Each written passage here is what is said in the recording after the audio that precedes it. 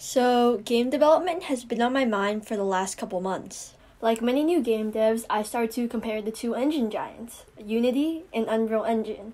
Both engines are amazing, but I did some of my own research and decided to go with Unreal Engine. To start off, I tried learning through YouTube tutorials, but it ended up being more of a copy session than a learning session. Yeah, it's probably because I'm a novice at Unreal Engine, but it was pretty difficult to learn the actual process in these tutorials. I would wind back and be like, what now? Every two seconds.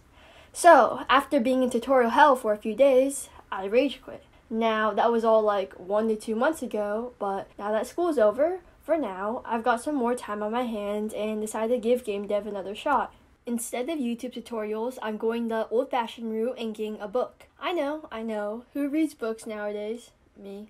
But believe me when I say that this process was a hundred times better than before, when I was just copying everything and having no idea what I was doing. I'll put the book in the description. Now, to be clear, this is not a tutorial. It's a devlog of my progress in the last week. But if you want me to make tutorials, let me know. Back to what I was talking about. This video may get zero views, but it'll look cool looking back in the next couple months, assuming I don't rage quit or push it aside, since I've got some classes starting up soon, like next week. Okay, let's get into the stuff of what I've learned.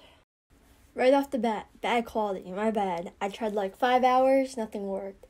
But right now I'm in my viewport, and you're gonna see there's a stamina and a health bar.